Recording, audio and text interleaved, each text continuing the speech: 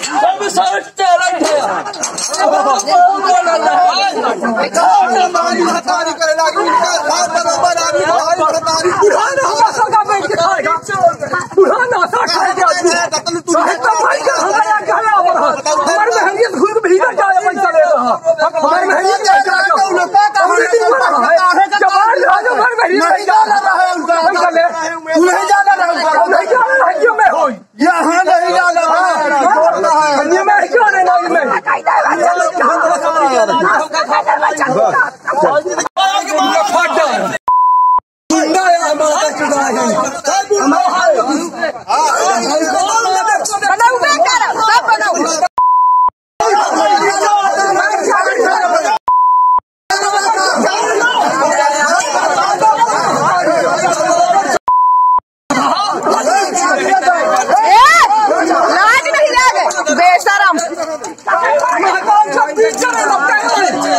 ये पकड़ चल। बाबा ए चाचा चाचा ए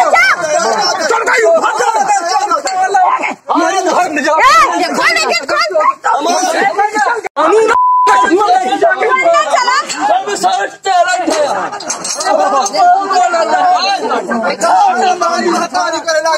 यहाँ नहीं